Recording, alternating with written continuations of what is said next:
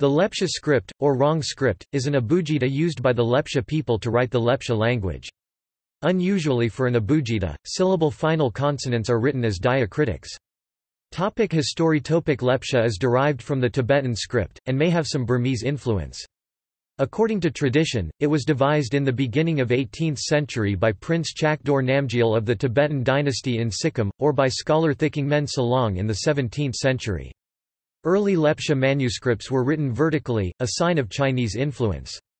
When they were later written horizontally, the letters remained in their new orientations, rotated 90 degrees from their Tibetan prototypes.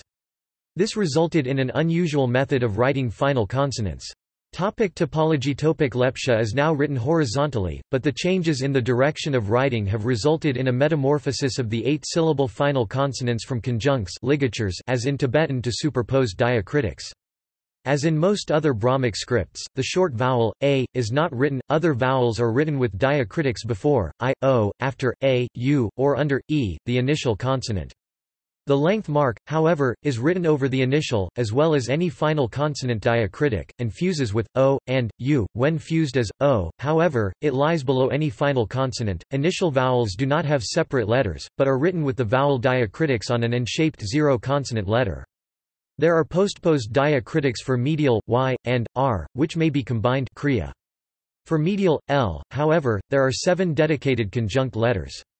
That is, there is a special letter for kla, which does not resemble the letter for ka, only gla is written with a straightforward diacritic. One of the final letters is an exception to these patterns.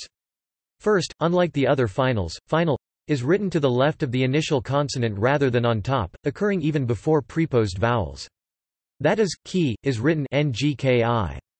Second, there is no inherent vowel before even short, a, must be written, with a diacritic unique to this situation. It appears to be the diacritic for long, a, rotated 180 degrees around the consonant letter, that is, ka, is written ngka, rather than inke as would be expected from the general pattern. Topic Unicode Topic Lepcha script was added to the Unicode standard in April, 2008 with the release of version 5.1.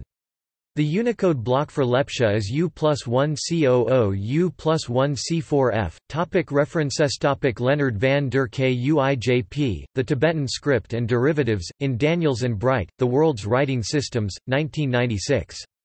Topic external links Topic Lepcha script at omniglot.com Rong Kit, a free Lepcha Unicode kit including fonts and keyboard files Win, Mac, Linux, published by the Sikkim Bhutia Lepcha Apex Committee Noto Sans Lepcha, a free Lepcha Unicode font that harmonizes with other fonts of the Noto font family Mingzat, a Lepcha Unicode font by SIL, based on Jason Glavy's JG Lepcha JG Lepcha, a free and well-designed but non-Unicode compliant font by Jason Glavy.